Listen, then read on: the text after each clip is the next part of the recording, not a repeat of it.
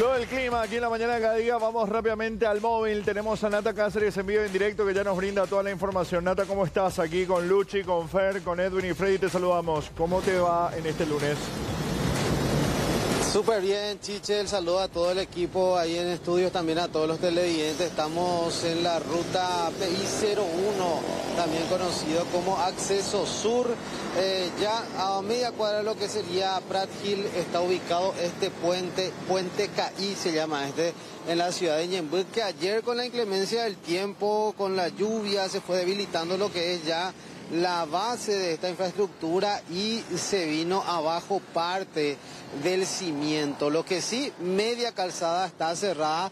Hay una preocupación realmente bastante grande por los vecinos y lugareños acá de la zona eh, porque esto puede venirse abajo en cualquier momento ya por el desgaste de todos los años, pues esto se hizo cuando se planificó lo que era acceso sur. Evidentemente necesita eh, un mejoramiento y actualización, pero sobre todas las cosas, porque cuando llueve es un desastre. Estamos aquí eh, con una vecina, una escribana que, tiene un local acá al lado.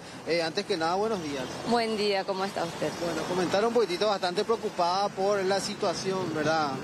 Sí, realmente las lluvias, las últimas lluvias eh, hicieron que esto se empeore, pero esto ya viene de un año atrás, eh, los derrumbes, eh, y bueno, lo primero que desapareció son los gaviones y la fuerza de los raudales hace que vaya socavando todo y bueno, llegó al día que esto ya, ayer ya no fue ni con tanta lluvia de ayer, sino creo que fue más la vibración ya del, movimiento de los vehículos que hizo que vaya el derrumbe por la, la tierra que está prácticamente en falso. Aún así, eh, siguen transitando camiones muy pesados acá por la zona. Sí, es una preocupación. Yo manifesté ayer a la municipalidad y también a la caminera que deberían tomar las precauciones de cerrar esta, esta parte, este carril al menos. Y bueno, eh, se tomó la precaución pero de medio carril porque siguen transitando y los camiones eh, que vienen eh, de gran porte es lo que hace más la vibración. Bueno, ahora evidentemente cuando llueve esto rebasa todo también. No, cuando llueve no, yo no te puedo explicar lo que es, da mucho miedo y una lluvia más, esto ya no resiste y, el puente va a caer. Eh, lamentablemente, yo ya lo había dicho hace un, hace un año atrás, eh, hice las denuncias, eh, vinieron los técnicos, voy a decir que sí, vinieron a hacer todos los estudios, impacto, todo lo que quisieron pero ejecución no hubo y no hay mejoras hace 30 años de mantenimiento sobre ningún puente que está sobre acceso. Bueno, en el momento, muchísimas gracias. A usted. Bueno, ahí está entonces lo que manifiestan los que conocen la zona Chiche y compañeros y qué peligro, porque fíjate ahí en las imágenes ya de nuestro compañero Roberto Ferreira, se ven las piedras, eh, se ven parte de lo que es el cimiento, el hormigón, eh, cómo se ha quebrado, cómo está cediendo, la tierra roja también que está húmeda, va cediendo.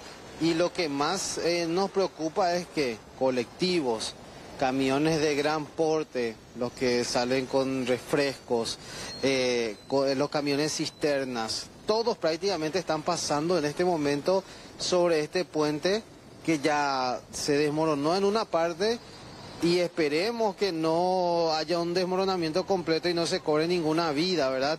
Eh, se analizó, tengo entendido, la gente del MOPC y con la patrulla caminera de momento decidieron cerrar media calzada y habilitar solamente la otra eh, media calzada para que puedan circular los vehículos y camiones. Bueno, una vez más, la consecuencia y la dejadez que está teniendo esta zona, que ya hace larga data, ¿eh? están haciendo los reclamos y no hay una solución y esto que va cediendo a medida tenemos lluvias y esta constante lluvia va a seguir. ¿eh? Sí, así que lo único que podemos hacer es pedir precaución a los conductores que los transeúntes no pasen hacia ese lado, porque ya hicieron las denuncias, tengo entendido, Nata, o sea, hace muchísimos años se viene acumulando este tipo de denuncias se hizo la denuncia y nunca hubo mejoramiento, pues son puentes que se hicieron cuando se construyó lo que es acceso sur.